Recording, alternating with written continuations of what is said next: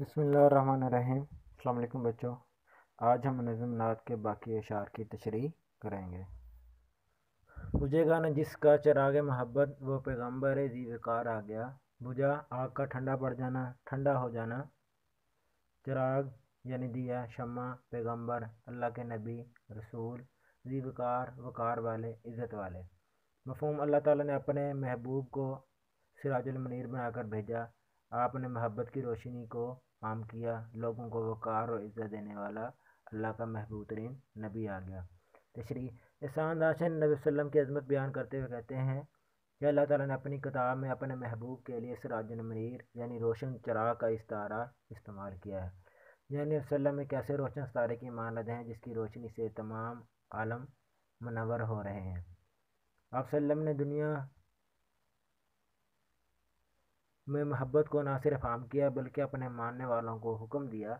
तुम में से कोई एक इस वक्त तक मोमन नहीं हो सकता, जब तक वो अपने भाई के लिए वो चीज़ पसंद ना करे, जो अपने लिए पसंद करता है।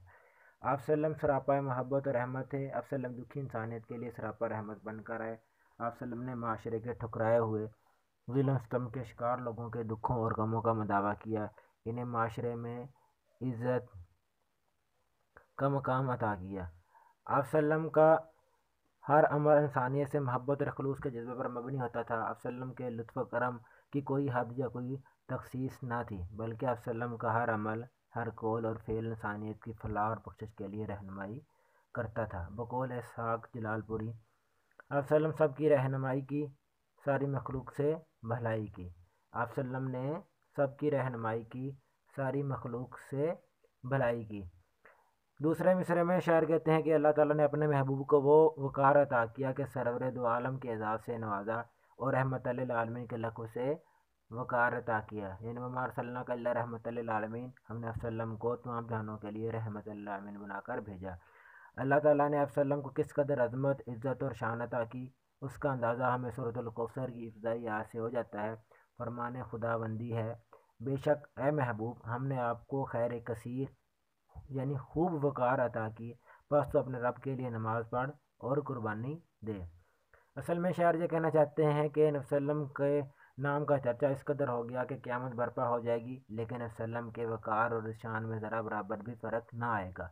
तमाम ज़माने माजी हाल मुस्तबिल के अफराद खुदा के ज़िक्र के साथ साथ उसके महबूब के तस्करों से भी आबाद रहेंगे। इसलिए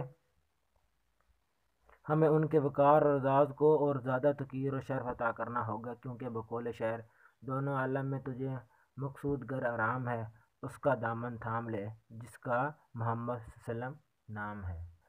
अगला शेर है हमारा, ज़माने को अपनी मंजिल मुबारक के एक खजर सदरा गुज़र आ गया।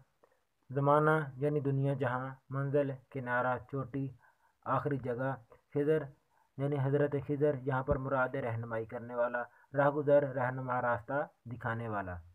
मफहम अहल दुनिया को अपनी मंजिल मुबारक हो, क्योंकि नबी की सूरत में उन्हें हज़रत खिदर से बड़ा रहनमा और कामल तरीन रहबर मिल गया है। तशरी इसान ने तशरी तरफ़ शेर के पहले मिसरे में ज़माने को मुबारकबाद दे रहे हैं कि अः ज़माना महबूब तुम्हारी खुशबख्ती और खुशखुशी का अंदाज़ा इस अमर से लगाया जा सकता है कि अल्लाह ने तेरे दामन में अपना महबूब अता किया फिर इसे महबूबारी ने अपनी ज़िंदगी के बाकमाल तरीन तिरसठ साल अपनी सांसों से, तेरी फ़जाओं को मतर किया, अपने कदमों से तुझे सरफराज किया। यही है कि अल्लाह ताला खुद अपने मुकद्दस कलाम में ज़माना की कस्में खाता है। तो असर की बताई आयात देखिए। कसम है ज़माने की, बेशक इंसान खसारे में है।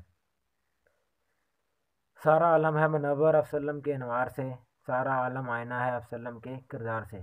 दूसरे मिसरे में शायर कहते हैं कि इंसानों को खसारे से निकालने वाले और उनको, उनके नफ़ा, उनके नुकसान को नफ़ा अता करने वाले तशरीफ़ ले आए हैं। उनकी पस्तियों को अजमतें अता करने वाले और माओं को तकीर और बापों को फजील अता करने वाले तशरीफ़ ले आए हैं। शायर असल में ये कह रहे हैं कि हज़रत खिजर जो एक रहब और रहनमा के तौर पर जाने जाते हैं, सलम की ज़ात उनसे बहुत ज़्यादा अरफा और अला मकाम पर फायद है। ज़माने में उन्हें मामल अम्बिया के लकब से जाना जाता है और क़्यामत के दिन मकाम महमूद पर फायद होंगे, यानी दुनिया में कामल तरीन रहबर है। क़्यामत की मुश्किल घड़ी में भी वही रहनमाई और मदद फरमाएँगे। उकबा की मंजिलों में है, उकबा की मंजिलों में भी वो होगा दस्तगीर, आसान जिसके फैसे कारे जहाँ हुआ।